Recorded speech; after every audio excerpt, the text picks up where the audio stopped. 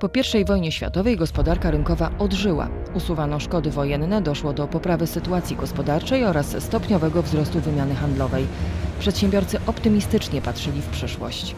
Zdaniem wielu wybitnych ekonomistów zanosiło się na dłuższy okres dobrobytu.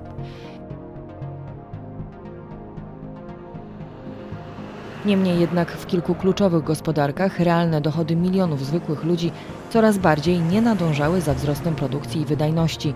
Były to wyraźne oznaki nadprodukcji. Wielu ludzi w coraz większym stopniu pożyczało pieniądze na sfinansowanie zakupów dóbr konsumpcyjnych lub spekulacje giełdowe, zaś poziom zadłużenia zagranicznego wielu krajów pozostawał nadal wysoki. Załamały się ceny akcji większości spółek giełdowych, a ich właściciele usiłowali się ich jak najszybciej pozbyć. Z powodu wycofania pożyczek zagranicznych chaos nasilił się jeszcze bardziej, a kryzys zamienił się w problem międzynarodowy. Dzień 24 października 1929 roku zapisał się w historii jako Czarny Czwartek. Zwiastował on początek wielkich spadków na nowojorskiej giełdzie. Ich konsekwencją była fala bankructw. Świat biznesu zareagował ograniczeniem produkcji i zatrudnienia oraz cięciem kosztów. Do roku 1931 produkcja przemysłowa w Stanach Zjednoczonych spadła o połowę. Spadł popyt ze strony konsumentów, wstrzymywano inwestycje, zaś bezrobocie rosło. Gospodarkę objął zaklęty krąg kryzysu. Drobni producenci byli zmuszeni obniżać ceny, jednak nie mogli sobie rekompensować strat, zwiększając sprzedaż. Z kolei w przypadku dużych firm jedyną odpowiedzią na kryzys było zwalnianie pracowników i cięcie kosztów, co prowadziło do niższych płac i jeszcze mniejszego popytu.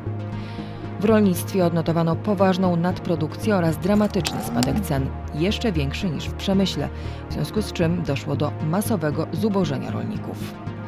Wszystkie kraje podjęły kroki zmierzające do ograniczenia importu i zwiększenia eksportu, stawiając na bycie tańszym, co ostatecznie doprowadziło do zmniejszenia popytu również na rynkach zagranicznych. Problemy gospodarcze sprzyjały kryzysowi demokracji, wzrósł poziom poparcia dla skrajnych rozwiązań politycznych. Początkowo większość rządów odpowiedziała na kryzys nadzieją na jego pokonanie poprzez mechanizm rynkowy, to znaczy licząc, że niższe ceny przyciągną większą liczbę konsumentów, zaś niższe płace spowodują zwiększony popyt na pracę. Jednak to nie nastąpiło. W gospodarce światowej nadszedł czas interwencjonizmu państwa. Brytyjski ekonomista John Maynard Keynes był autorem pierwszej obszernej teorii interwencjonizmu. Interwencjonizm państwa w gospodarce może przybrać kilka postaci. Rząd może zmieniać kurs wymiany walut, podwyższać lub zmniejszać stawki podatkowe lub wpływać na wysokość oprocentowania. Może on jednak także usiłować zwalczyć największe przekleństwo kryzysu bezrobocie poprzez świadczenia socjalne dla bezrobotnych, roboty publiczne, kredyty rządowe i zamówienia publiczne. To często jednak prowadzi do deficytu budżetowego, rozwiązanie, które w latach 30. nie cieszyło się popularnością wśród większości polityków. W najskrajniejszej wersji państwowego interwencjonizmu samo państwo staje się przedsiębiorcą, a nawet zarządza całą gospodarką, jak w państwach socjalistycznych czy komunistycznych. W USA państwo zaczęło bezpośrednio wpływać na gospodarkę i ją regulować na niespotykaną wcześniej skalę. W marcu 1933 roku administracja prezydenta Franklina D. Roosevelta rozpoczęła realizację programu walki z kryzysem, który głowa państwa ogłosiła w roku poprzednim i nazwała Nowym Ładem. Przemożny wpływ na Roosevelta miała grupa doradców zwana Trustem Mózgów. Cele jego często improwizowanej polityki można streścić jako oddłużenie, naprawa i reforma. Jej skutki pozostają kontrowersyjne, jednak z pewnością przygotowała ona grunt pod ożywienie gospodarcze. Nowy Ład istotnie zwiększył popularność Roosevelta, choć jego polityka nadal spotykała się ze sprzeciwem i nie zawsze była konsekwentna.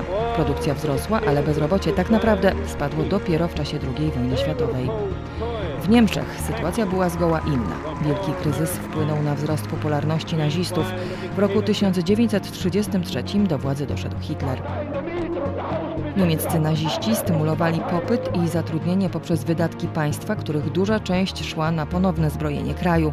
Nie zakazano prywatnej przedsiębiorczości, jednak interesy pojedynczych sektorów były często podporządkowane interesom państwa. Szeroko zakrojona interwencja państwa pomogła pokonać kryzys, który od roku 1933 zaczął ustępować, a w latach 1935-37 produkcja w większości krajów rozwiniętych wróciła do poziomu sprzed kryzysu. Interwencjonizm państwowy stał się nieodłącznym elementem gospodarek kapitalistycznych.